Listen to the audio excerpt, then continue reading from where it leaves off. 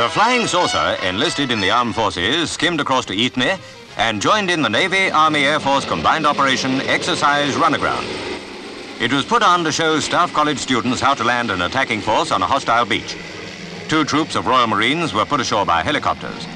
Some were dropped into the sea to swim underwater to the land in Frogman's outfit.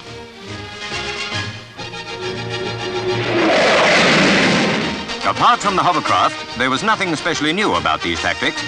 But since the war, there's a new generation of officers and men to be taught how a small invasion is carried out. The great thing is to cut down the high danger part, that is between sea and landing ashore, to the least time possible. Naturally, the hovercraft took everybody's eye. Both on water and land, it moves without touching either, on its cushion of compressed air. Hence, leading servicemen believe the flying saucer has a role to play in the field of invasion. It didn't stay long. It went out to sea again, having shown that this kind of operation is a flying saucer's cup of tea.